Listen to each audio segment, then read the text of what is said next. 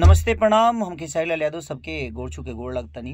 और चौथे बरजू महोत्सव 2023 अ, माघ तीन गते मंगलवार को दिन समय ग्यारह बजे दिन से तीन बजे दिन तक। स्थान बरजू ताल बरजू गाँव पालिका चिमड़ी सुनसरी नेपाल। पिछली घटना के वजह से बहुत सारी चीज़ें हुई लेकिन इस बार मैं आप सबके बीच में फिर से आ रहा हूँ उसी महोत्सव में।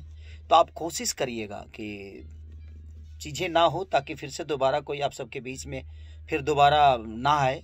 तो हर मैं जनता से रिक्वेस्ट कर करता हूँ कि आप लोग संयम के साथ इस चीज़ को देखिएगा और संयम के साथ हमें सबका सम्मान करना है।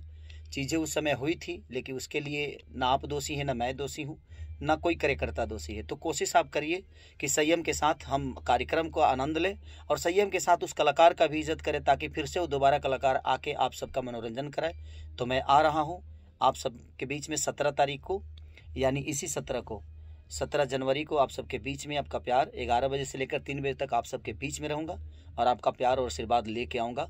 तो कोशिश करिएगा कि हर आदमी हम सबका सम्मान करते हुए मनोरंजन का लुप्त उठाए मनोरंजन को आनंद ले और इसी साथ लव यू ऑल सबको, थैंक यू।